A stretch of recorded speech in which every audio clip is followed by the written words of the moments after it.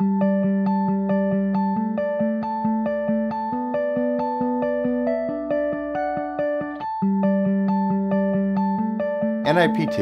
or non-invasive prenatal testing, was introduced by the verifi test in March of 2012.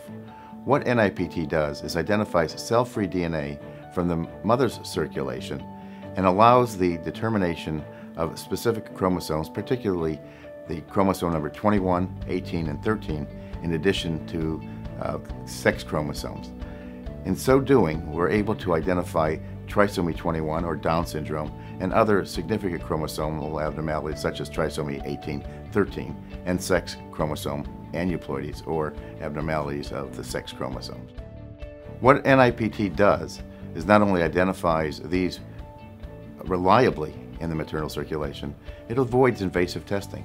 It dramatically reduces the number of invasive tests that have been done and the subsequent loss of pregnancies that can go along with invasive testing. NIPT was first introduced in a high-risk patient. A number of clinical studies were done, publications were reported, and the societies such as the American College of OBGYN, the American uh, um, College of Medical Genetics, all have put out statements that say high-risk patients should be offered uh, non-invasive prenatal testing prior to offering invasive testing.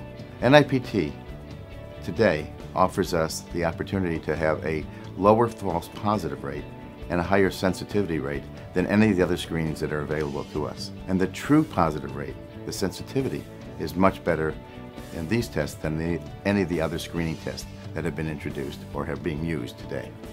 One of the concerns about non-invasive prenatal testing, or all testing for that matter, is is the test reliable and is there a failure rate? The CARE study showed that the test failure rate is extremely low, less than 1%. Further, some studies have shown that in patients where there's test failures, there's a higher incidence of abnormalities, higher incidence of chromosomal abnormalities. The CARE study did not demonstrate that.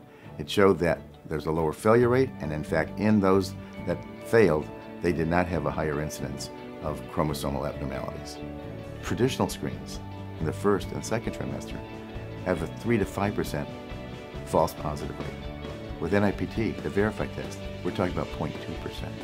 Very small incidence of screen positive tests.